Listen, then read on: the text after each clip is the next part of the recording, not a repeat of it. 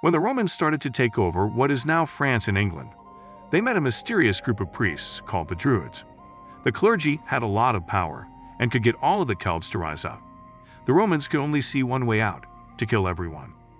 Under the cover of the morning fog, several thousand Roman soldiers row across the narrow strait that separates the island of Anglesey from Wales. The army sends out scouts to look at the dark island that can be seen ahead. The Romans are on their way to fight the Druids of Britain, who are an enemy that few Romans have ever seen and who scares even veterans of war. Anglesey is the stronghold of the powerful clergy, who have joined forces with Celtic warriors from the mainland to make one last stand against the Romans. The sound of the Celts' war horns echoes across the water as the water splashes. Several thousand warriors stand on the island ready for battle. They beat their swords on their shields in a rhythm. The cloaked druids who use loud shouts and chants to call on the forces of darkness to fight the enemy are even scarier to the Romans. Women dance as if they are in ecstasy between the rows of warriors to get the men ready for battle. The invasion of the Isle of Anglesey in 61 AD was the end of more than 100 years of bitter fighting between Rome and the Celtic Druids. Because of their religious power, the Druids were able to rally Celts from different tribes to fight against the Romans. The Romans have a reputation for being tolerant of other religions and their priests and for willingly adopting them. But the Druids are so strong that Rome can only think of one solution getting rid of the priesthood. A clergy surrounded by mystery. When ancient Greek writers first wrote about the Celts in the 4th century BC, the Druids were probably already an important part of Celtic society and religion. The Romans were the first people to talk about Druids. They thought that the priesthood began in Britannia and then spread to the Celts in Gaul, which is now France. It's hard to say if that's true, or if the clergy really came from Central Europe. Archaeologists have found a lot of evidence of the Druids' religious sites in the British Isles and Ireland. The word Druid comes from the Irish Gaelic word Dor, which means both oak tree and wisdom. Julius Caesar was the first Roman to give a detailed account of the Druids in relation to the conquest of Gaul. He wrote that the Druids and the nobles were in charge of the Gauls. The priests had a lot of power over the Gauls because they were the only ones who could offer public and private sacrifices to the gods. The whole country of the Gauls is very superstitious, Caesar said. The field lord said that only druids could know about the world of gods because priests were not allowed to write down what they knew. Everything was instead to be said out loud, so it took about 20 years to learn how to be a druid. Authors from Greece and Rome say that the druids thought the soul was immortal and moved to a new body after a certain amount of time. The clergy didn't hold religious ceremonies in fancy temples. Instead, they did so in oak groves and simple stone circles in the open air. But the Romans and Greeks also said that the Celts did something very cruel. They sacrificed people.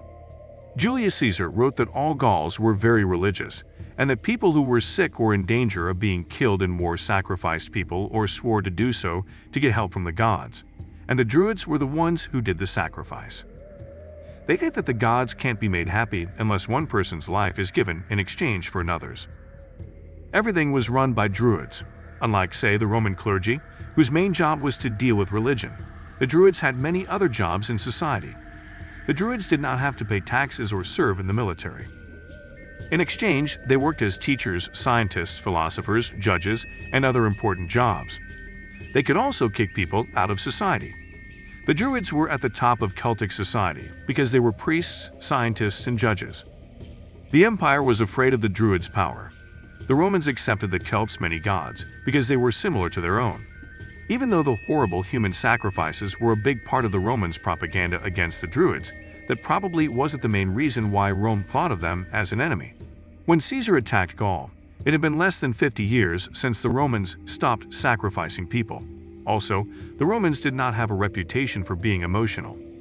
People cheered as gladiators killed each other in the arenas, and criminals were torn apart by wild animals.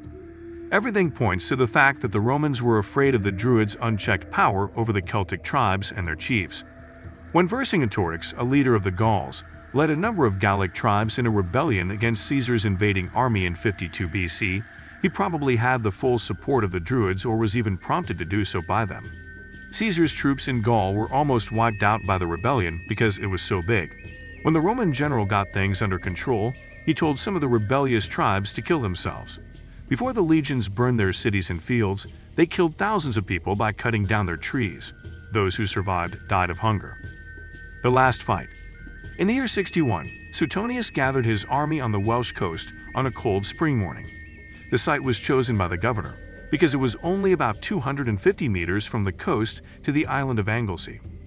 Tacitus, a Roman writer, says that Suetonius used the tide to get across the channel. He made a fleet of boats with flat bottoms so that the infantry could cross. The riders who came after them waited and swam in deeper water next to their horses.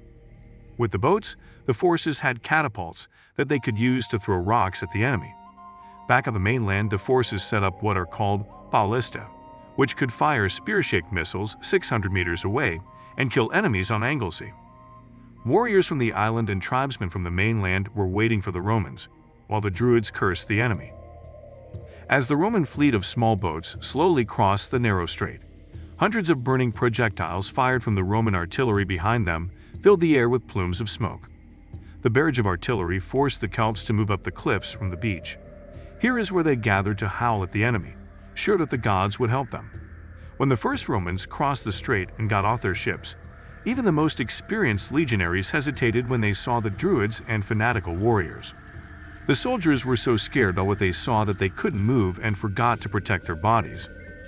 Suetonius saw that the soldiers were scared so he told them that they were some of Rome's best soldiers, and that they had fought much stronger enemies than the unruly Celts.